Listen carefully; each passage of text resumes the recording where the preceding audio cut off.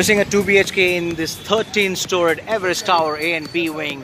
One of the oldest societies again. This is one very famous because of scrumptious and it's near Versova. It's the end of Versova, JP Road opposite Ganga Bhavan. This is uh, towards chai coffee there and a lot of shops and natural ice cream has opened up as well. We're gonna have a look at a 2 BHK in this one, a sea view, unfurnished with balconies. Let's have a look.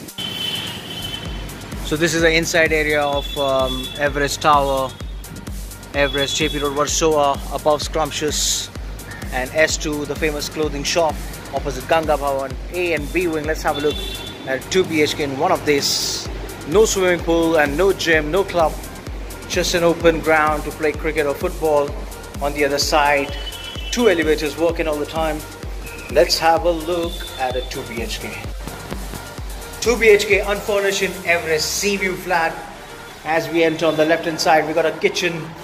So mind you, there's a lot of work need to be done. The civil work inside, the paint and the wall work. But this is a kitchen. You got to model a modular kitchen and the fittings and the cabinet sink.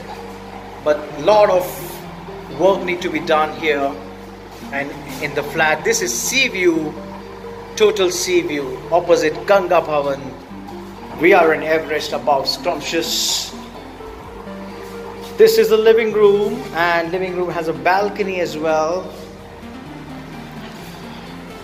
And a big window facing the road and Ganga Bhavan right there.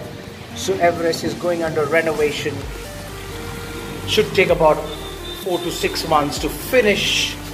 We're in the balcony in the living room. It's a sea view, shining, sparkling water under the sun. That's the road. Getting busier JP Road, Versova. Let's go left and see the master bedroom here. Bathroom and toilet.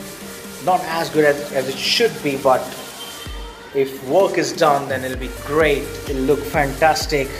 The mosaic flooring and the painting will also need to be done. A lot of stuff remaining needs to be cleaned up it's got a window here which overlooks the sea and the Malad view.